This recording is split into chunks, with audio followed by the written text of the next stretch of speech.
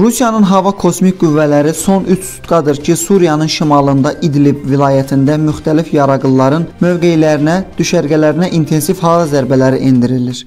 Kanal 13 virtualaz.org istinadla bildirir ki, Rusiya mənbələri təkcə aprelin 8-də 90-dan çox raket bomba zərbələrinin endirildiyi xəbər verir. Dünən aprelin 9-da isə Rusiya qırıcı bombardmançıları İdlibin Basanukul rayonunda Hayat Tahrir Ərşam qruplaşmasının düşərgəsinə 500 kiloqramlıq aviabombalarla və raketlərlə zərbələr endirib. Telegram kanallarından bomba zərbələrindən sonra çəkilmiş görüntülər yayılıb.